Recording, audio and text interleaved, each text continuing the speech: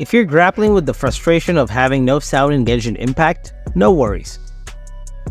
I'm here to walk you through the step-by-step process to resolving this audio issue, so you can once again immerse yourself in the enchanting tunes of Celestia.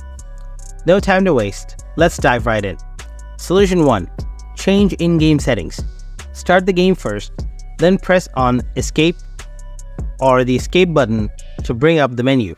Then click on the settings icon. Now switch to the audio tab. After that, drag the volume bar all the way to the right. Do the same for music volume, dialogue volume, and SFX volume. Now head back into the game and check if you hear any sounds. Solution 2. Restart the Windows Audio Service. First off, hit the search icon and type CMD. Right click on the command prompt in the search result. Select Run as Administrator. Give the permissions by clicking Yes.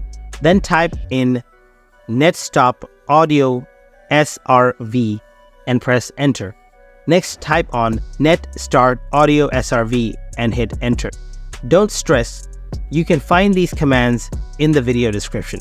Now launch Genshin Impact and check if the issue is fixed.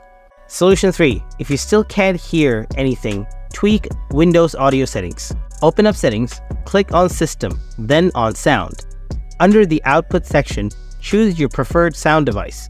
Increase the volume here and check if that does the trick. Solution 4. If all else fails, update your audio driver. Search for device manager and open it. Then expand audio input and output by clicking the arrow icon. After that, right click on your audio device and select update driver. Then click on search automatically for driver. It'll find and install any new drivers if available. If no updates were made, you'll see a message just hit close. After that, reboot your computer. Now you should be rocking in-game sounds in Genshin Impact. So that's the lowdown on fixing the in-game sound issue in Genshin Impact.